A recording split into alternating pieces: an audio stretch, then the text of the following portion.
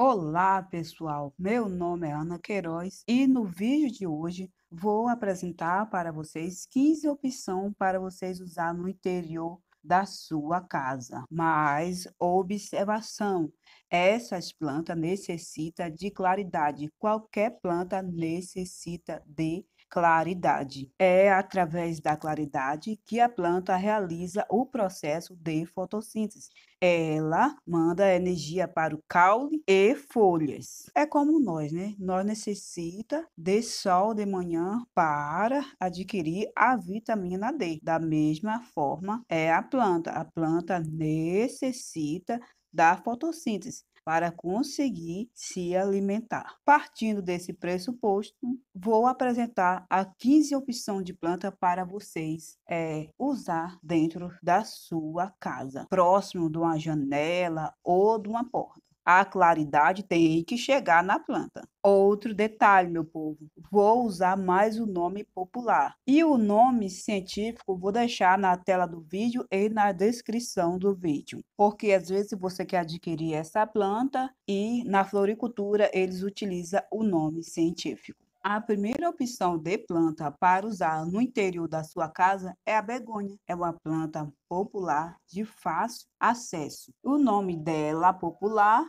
é begônia asa de anjo, porque as suas folhas têm um formato de asa. É uma planta fácil de cuidar, mas muitas pessoas erram na rega dela, porque é uma planta que gosta de substrato úmido e não encharcado. Se você encharcar o substrato da sua begônia, ela vai apodrecer. Outro nome que essa planta recebe é cana de bambu. Se você observar, a arte dela, o caule dela, tem o formato de cana de bambu. Deixa eu ver se eu consigo mostrar para vocês. Olha aqui esse formato. Parece uma cana de bambu. Essa é a primeira opção de planta de interior para sua casa. A segunda opção é o filodendro micans, com suas folhas cor-de-forme, com cores marrom, linda e folhas aveludada. Essa folha é macia, é uma planta de fácil cuidado que você pode utilizar dentro da sua casa, mas também necessita de claridade. Você pode utilizar ela próximo à janela, então próximo uma porta, que a claridade venha chegar até esta linda planta. Ela cresce mais ou menos de, de 8 a 5 centímetros. E você pode cortar ela quase igual a jiboia, né? Corta aqui entre os nós e, e ficar novamente na substrato para ela enraizar. Essa minha aqui já está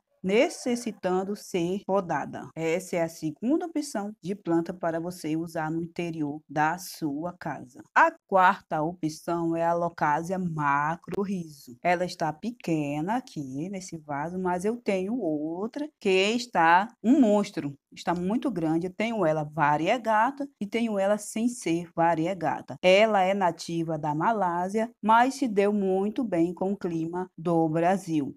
Também é uma planta fácil de ser cuidada e de desenvolvimento rápido. Claro e evidente que eu vou precisar trocar de vaso. A folha dela é bastante ornamental. Ela cresce um metro. A quinta opção é uma peperômia. Suas folhas são bastante ornamentais, com folhas coriáceas, folhas firmes. A flor dela não tem muito valor ornamental e é de crescimento rápido. É uma planta que gosta de substrato de suculenta e o caule dela cresce rápido. Você pode adicionar no substrato para ela enraizar novamente. É uma planta bem encorpada, é uma planta lindíssima para ser usado dentro de casa.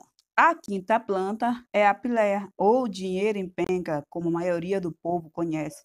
É uma de fácil desenvolvimento, ou seja, crescimento rápido, e não é uma planta tóxica para os seus pets ou criança. Olha que maravilha, que lindeza essa planta para ser usada dentro da sua casa. A sexta planta é o Philodendron golden ou neon. Com suas folhas iluminadas. Pense numa planta linda que também pode ser usada dentro de casa, no interior da sua casa. Você tem que oferecer ela claridade e com o tempo eu vou ter que adicionar um tutor, porque ela é uma planta que gosta de escalar. Então é necessário adicionar um tutor. E também tem que trocar de vaso, né? Que ela fica uma planta imensa, necessita ser trocado de vaso.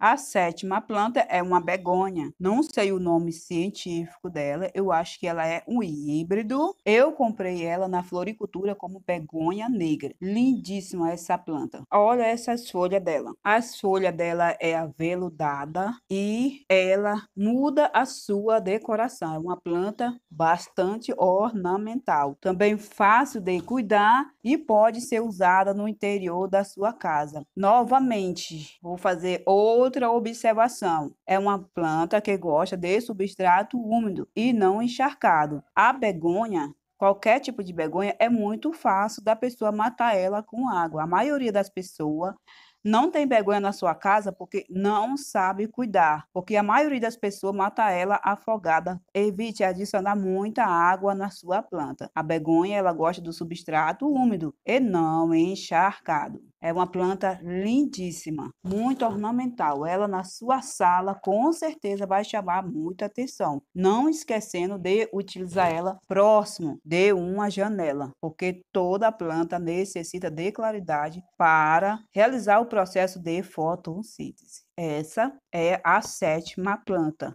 para você usar no interior da sua casa. A oitava planta é a jiboia. Essa daqui é a Nijoy. É uma planta variegada lindíssima. A maioria das plantas jiboia, elas são fáceis de cuidar. Mas uma observação, essa planta ela exige mais claridade, porque ela necessita de claridade para manter essa variegação dela. Também de fácil cuidado. Não é uma planta brasileira, mas se deu muito bem no clima do Brasil. Também você pode usar dentro da sua casa, próximo de uma janela. Essa outra aqui também é uma jiboia, é a brasileirinha, mas eu plantei ela esses dias. Essa daqui é mais fácil de você cuidar. Ela não exige muito claridade, não.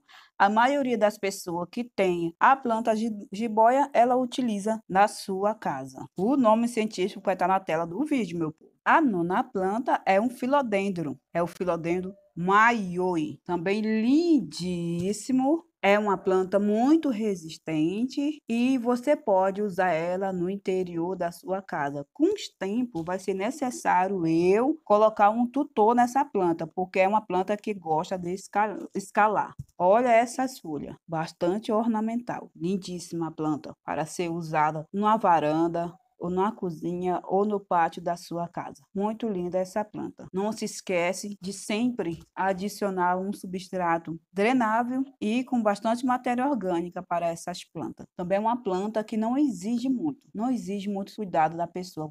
Você que está começando a cuidar de planta agora, você pode começar pela jiboia, pelos filodendro, porque são plantas fáceis de cuidar e também pelos cactos, que também é plantas que não oferecem dificuldade. Às vezes você esquece de regar e elas são plantas resistentes. A décima planta é o filodendro roxo, com suas folhas bastante ornamental. Quando a folha é jovem, ela apresenta essa cor marrom escuro. Quando a folha amadurece, ela fica esse verde. Você que tem uma decoração monocromática, essa planta ela é bem-vinda na sua casa. E como eu já falei no começo do vídeo, todos os filodendros são plantas fáceis de ser cuidada. E essa planta é lindíssima, com cores lindas. O, o caule dela é uma cor de vinho. Deixa eu ver se eu consigo mostrar para vocês. Aqui o caule já adicionei um tutor porque é uma planta também que gosta de escalar.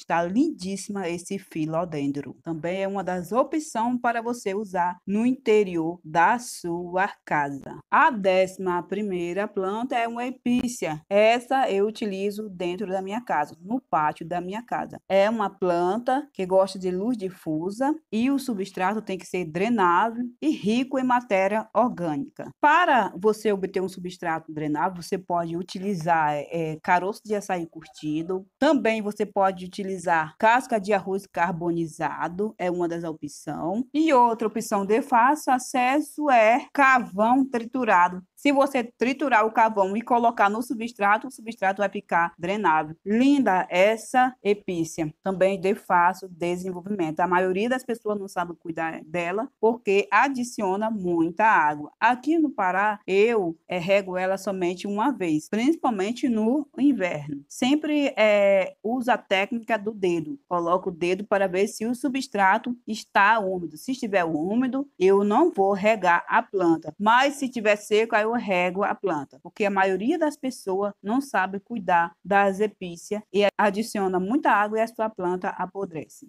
A décima segunda é a Damioculca, também muito conhecida e popular, né? A maioria das pessoas gosta dessa planta, mas essa planta ela é uma suculenta. Ela contém uma batata aonde guarda a água dela e muitas pessoas é, apodrece essa planta encharcando ela com água, mas não necessita adicionar muita água, porque ela já tem água nessa batata. Essa batata ela guarda a água ela guarda os nutrientes. Também é uma planta bastante ornamental para ser usada na sua casa, com folhas coreáceas, folhas firmes, folha brilhante. E olha o caule dessa planta, é lindíssima é uma boa opção para você utilizar na sua casa. E não esquecendo da claridade. A décima terceira é o Filodendro Brasil, com suas folhas bastante ornamental para você usar na sua casa. É uma planta de fácil cuidado que não oferece dificuldade.